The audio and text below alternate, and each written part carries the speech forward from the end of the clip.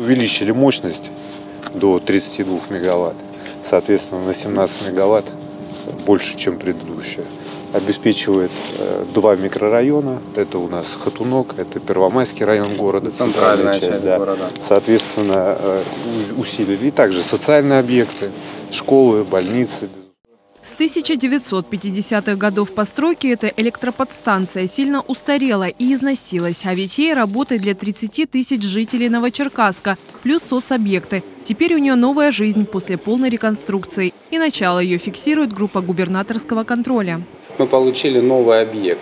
А, старый объект был демонтирован, и одновременно с ним была возведена вот новая подстанция, которая практически вдвое а, больше по мощности.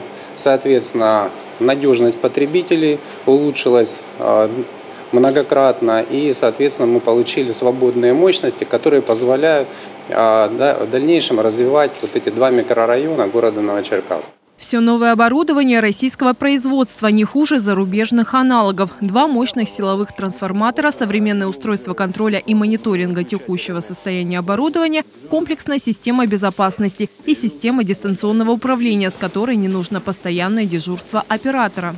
Та задача, которая выполняется, это импортозамещение, это то оборудование, которое, значит, все отечественное на сегодняшний день используется в данной подстанции и в работе в технологическом процессе. Поэтому вот это очень важно.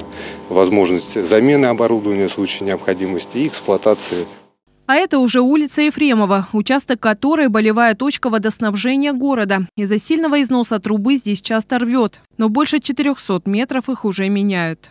Трасса занимает протяженность 400 метров. Меняется водопровод чугунный на полиэтиленовый с э, устройством гильзы э, в районе перехода под автодорогой. Подключаем 22 абонента новых. Реконструируются э, колодцы в количестве 15 штук с устройством трех новых.